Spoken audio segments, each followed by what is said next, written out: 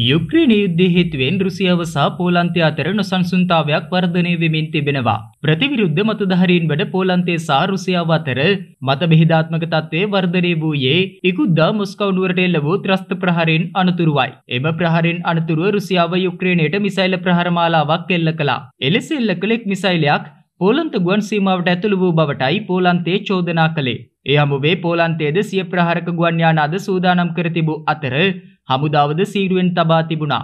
සිද්ධිය සම්බන්ධයෙන් පෝලන්තේ රුසියාවට දැක්වූයේ ප්‍රබල විරෝධයක්. එමෙන්ම අදාළ සිදුවීමට හේතු දක්වන ලෙසද පෝලන්තේ රුසියාවට බලකර සිටියා. එවෙන්ම සිද්ධිය සම්බන්ධයෙන් කරුණු විමසීම සඳහා පෝලන්ත රජයේ රට රුසියානු තානාපතිවරයාව කැඳවා තිබෙනවා. ඉකුත් සඳුදා දිනේදී විදේශ කටයුතු අමාත්‍යාංශය හමුවේ පෙනී සිටින ලෙසයි රුසියානු තානාපතිවරයාට පෝලන්තයේ දැනුම් දී තිබුණේ.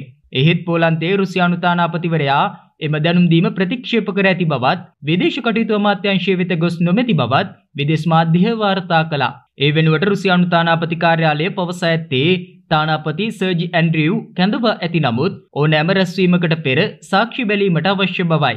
රුසියාවේ ක්‍රියාකලාපේ පිළිකුල් සහගත බවත් පෝලන්තයේ සිය මීළඟ පියවර තීරණය කරන බවත් පෝලන්තයේ නියෝජ්‍ය අග්‍රාමාත්‍ය සහ ආරක්ෂක අමාත්‍ය බ්ලැඩිස්ලෝව් කෙමිස් පවසා තිබෙනවා. එමෙන්ම රුසියාව සිය ගුවන් කලාපය වෙත මිසයිලයක් යොමු කිරීම සම්බන්ධයෙන් පෝලන්ත විදේශ අමාත්‍ය රැඩල්ස් සිකෝසි නේටෝ සංවිධානයේ මහලේකම් ජෙන්ස් ස්ටෝල්බර්ග් සමගද සාකච්ඡා කර ඇතැයි විදෙස් මාධ්‍ය වාර්තා කළා. පෝලන්තය යනු නේටෝ සංවිධානයේ ප්‍රබල සමාජිකයෙක්.